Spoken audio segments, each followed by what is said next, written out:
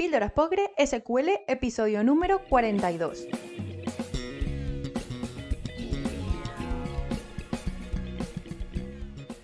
Hola, ¿qué tal? Muy buenos días a todos y bienvenidos al episodio número 42 del podcast Píldoras Postgre SQL.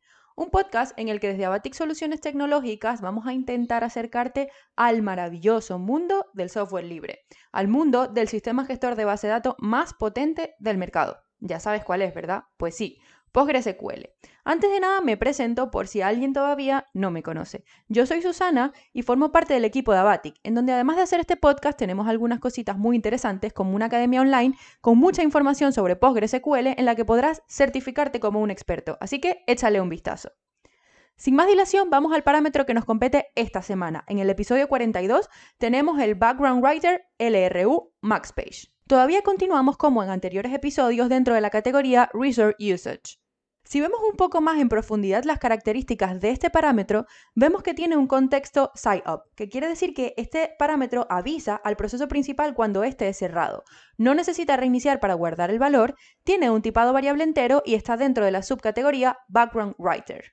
Este parámetro realmente se utiliza para determinar el número máximo de páginas LRU que el background writer va a escribir para vaciar en cada ronda. Si lo determinamos en cero, va a deshabilitar la escritura en segundo plano. Este parámetro tiene un valor por defecto de 100, es decir, va a ser el valor que va a coger por defecto si nosotros no especificamos ningún valor diferente. Como siempre, vamos a poder comprobar este valor a través de dos formas. Por una parte, haciendo una búsqueda sencilla en select, donde name es igual al nombre del parámetro, es decir, en este caso, bgwriter-lru-maxpages, cerrando con punto y coma, o a través del metacomando show, escribiendo show espacio el nombre del parámetro, es decir, bgwriter-lru-maxpages, cerrando con punto y Si queremos observar los ficheros en los que podemos encontrar este parámetro más comúnmente, podemos ir a hacer una búsqueda sencilla en GitHub para ver el código fuente y observamos ficheros como el buffmgr.h, el buffmgr.c y también el guk.c. Y hasta aquí el episodio número 42 del podcast Píldoras Postgre SQL.